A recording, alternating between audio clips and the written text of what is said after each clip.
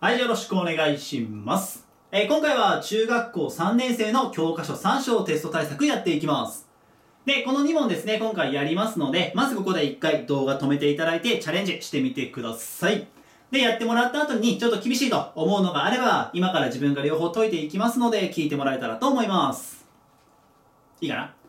では、早速ね、まず1番からやっていきますので、どうぞよろしくお願いします。よし、じゃあ行きましょう。で、今回はですね、この2問取り上げた理由があって、まあ、共通してある技、まあ、ある知識ですね、を紹介したくて、この2問取り上げていきます。で、1番に関しては、まずそれ使わなくても全然解けるので、まあ、普通に、普通にというか、あの、その技を使わずにね、解いていきます。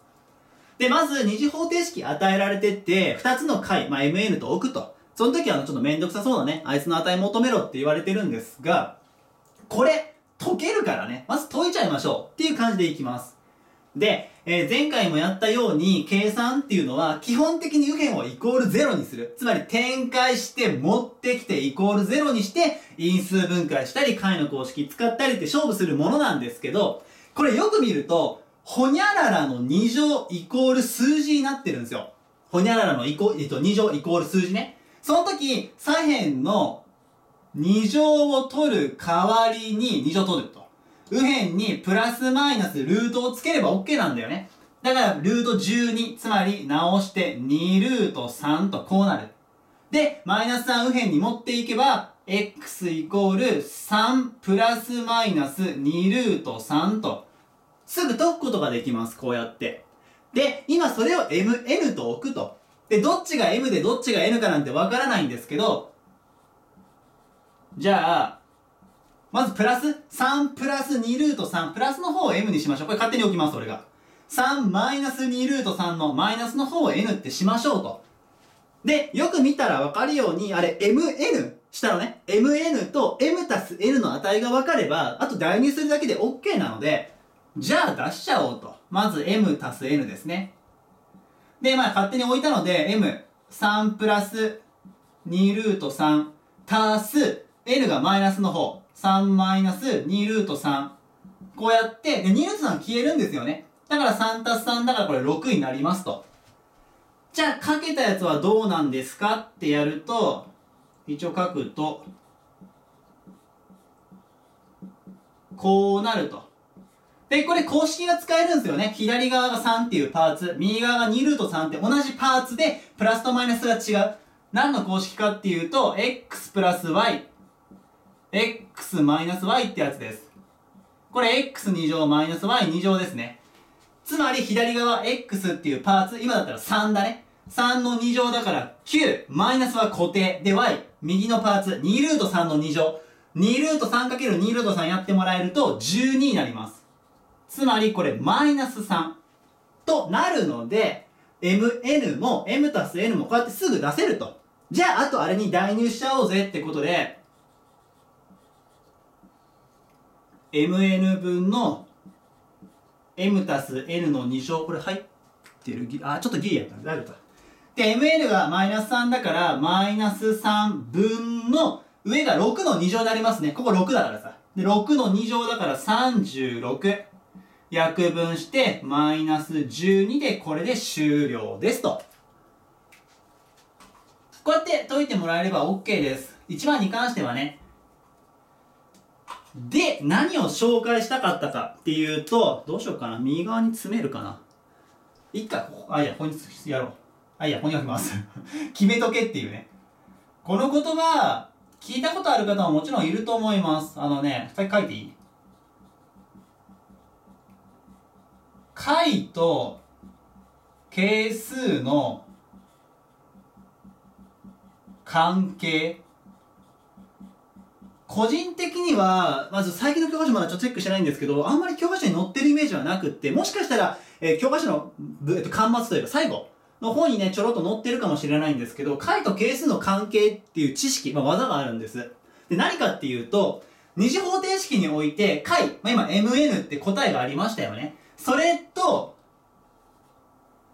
はい、今違った、ごめん。Ax2 乗プラス bx プラス c イコール0。つまり、あの、今までやってきたように、えっと、全部展開して整理してイコール0にした状態ね。こいつの係数、A とか B とか、まあ、最後 C になってるけど、まあ、ここね。にある関係があると。で、何かっていうと、その2つの答え今 MN ってした状態にすると、M たす N、2つの解を足したものは、必ずマイナス A 分の B、マイナス A 分の B ね、になるの、絶対に。で、もう一個。かけたものは、A 分の C になります。A 分の C ね。になるって決まってるこれ、解と係数の関係っつって、高校入ったら絶対やります、これ。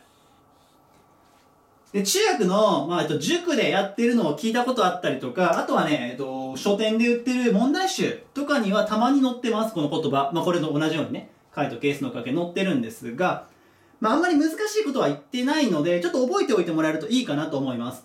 で、これ使って解くとどうなるか。ちょっとこれね、じゃおまけでいこっか。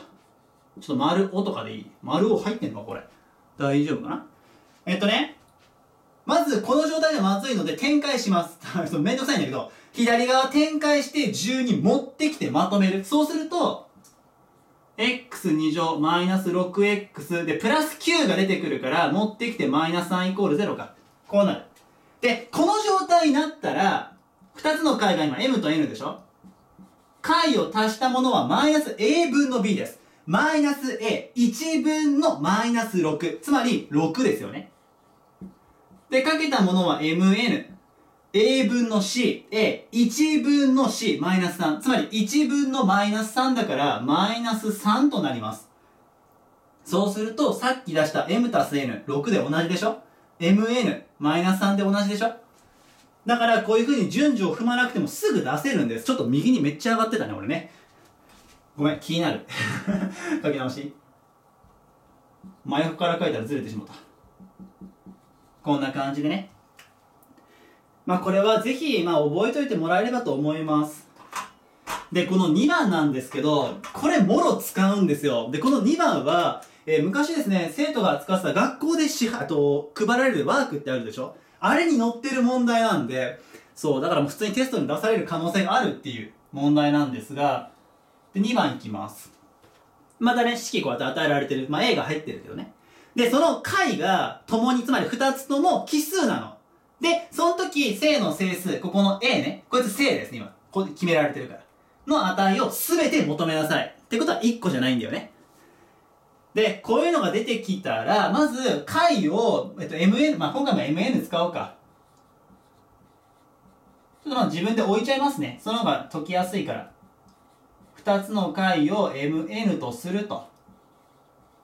で、そうすると、まあ、解と係数の関係使って、その m と n、2つの解を足したものは、マイナス a 分の b、つまりマイナス1分のマイナス16。だから、16なんだよね。で、mn かけたものは、a 分の c だから1分の 3a、つまり 3a なの。だから、これを満たす m と n のコンビを探しに行こう。ちょっと力技です、こっからは。作業感出てくるけどね。で、その m と n を探すときに考慮することが、これあの、頭の中で考えることね。カッコしてあるけど。m と n は両方奇数です。これはもう書いてあるから。共に奇数だってね。それがまずルール。で、もう一個、m と n 両方とも正の数です、これ。マイナス考えちゃダメっていう。で、なんでかっていうと、これ、a が正の整数でしょってことは当然さ、この 3a、ここ、正だよね、絶対に。で、今、これ正なんだけど、mn、かけたものも正。二つのものをかけて正になるのって、正々コンビか夫婦コンビしかないよね。でも、もし夫婦コンビになっちゃったら、足して16にならないんだよ、絶対に。負と負足したら絶対負だからさ。だから mn は正の数っていう、この条件のもとで探しに行きます。いい？で、どうやって考えるかっていうと、まあ、さっき言ったように力技なんだけど、mn のコンビどうなればいいですかって。例えば、えー、っと、まあ、8たす8とかでも16なるじゃん。10たす6とか。でも奇数になんなきゃいけないから、じゃあ m が、例えば15であれば n は1でいけるよね。こっちだけで今考えるの。15と1だったら16になるじゃないですか。で、同じように、じゃあ13と3でもいけるし、11と、えーと、止まったよ。5か。になってもいいし、9たす7でもいいよね、みたいな。奇数、奇数のコンビね。で、逆は考えないです。あの、どうせ同じこと考えるから、えっと、7、9とか5、11は考えずにいきます。だからこの4パターンしかないんですよね。